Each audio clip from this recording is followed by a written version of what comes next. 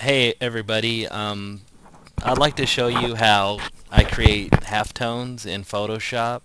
I know there's been some questions about it and there's some good advice on the forums, um, but this is just how I get it done with channels. Um, first thing I'm going to do here is I have my image and it's uh, everything's all colored and this green glowing effect here is on a layer and I have another green with the feathered edge here and that's also on a layer. Um, what I'm going to do here is duplicate my original and I'm going to get rid of all of the layers uh, that don't need a halftone.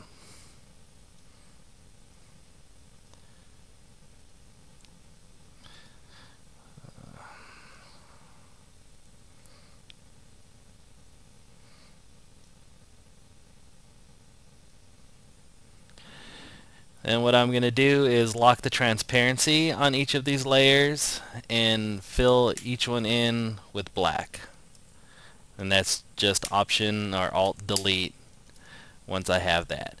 Um, next thing I'm going to do here is switch my mode to grayscale. Don't merge the layers.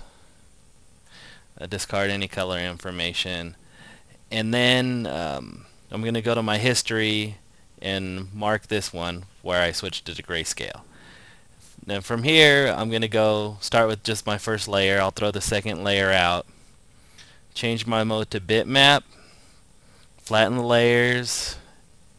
Um, set your settings however you like them. 300 pixels per inch. Um, 30 lines per inch for this screen. Um, round shape. And now I have my halftone. What I'm going to do from here is switch my mode back to grayscale. Uh, go to my channels palette, drag my gray um, channel back into my original. Now it's going to be an alpha channel. So what I can do here is go to my layer with uh, this round shape, delete it, go to my channels, um, I'm gonna load this channel which it's command if I command click on it on my Mac it'll load the channel um, as a selection. And then I go back to this layer select this green color and uh, option delete fills it in. And then I have my effect. And what I like about the channels is uh, it gives me a good control over it. If I don't like that, let's say I go back and I don't like this green, or I just want to change the green, I can just click there, and it's ready to go. I can delete it, no problem. Okay, so for my second channel, I'm going back to this uh, copied file, go back to my history state that I have marked, and uh, I'm going to throw out that layer and repeat the process over again. Switch mode to bitmap, plant layers, um, you know, go with all my same settings, switch back to grayscale, and drag my channel right over.